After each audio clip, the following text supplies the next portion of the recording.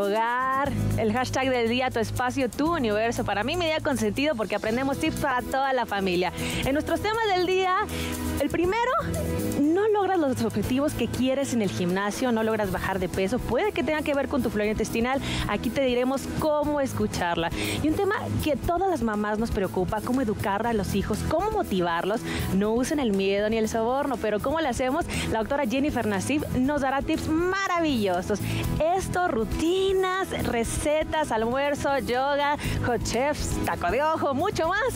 Comenzamos Hora de elegir el batido del día porque recuerden aquí en You Shoes hacemos lo que ustedes pidan, lo que más se les antoje. Opción número uno, batido alto en proteínas y opción número dos, batido detox. ¿Cuáles hace falta? ¿Cuál se les antoja más? Empiecen a votar ya en nuestras redes sociales. Todos nos esforzamos por motivar a nuestros hijos, pero ¿de qué manera poder lograrlo?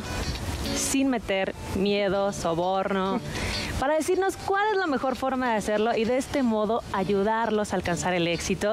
Nos acompaña la doctora Jennifer Nassif, conferencista y experta en inteligencia emocional. Qué gusto tenerte con nosotros, Jennifer. Ay, no, hombre, mucho gusto. Me acaba de escribir de Inglaterra una señora que vio la TED Talk y me dice, eh, me contactó, ya sabes, dije, mándame WhatsApp para que me platiques y me decía, es que cómo le hago, tengo un hijo que es muy rebelde. después el social es... Gracias por continuar con nosotros en este martes de familia y hogar. ¿Qué les parece si ahora sí nos activamos como se debe con todo, ni más ni menos que con esa? Gusto, vamos con por acompañarnos en este martes de familia y hogar. ¿Y qué creen?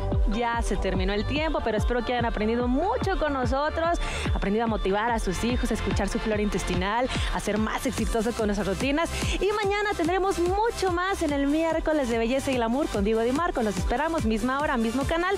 Y por lo pronto sigan participando con el hashtag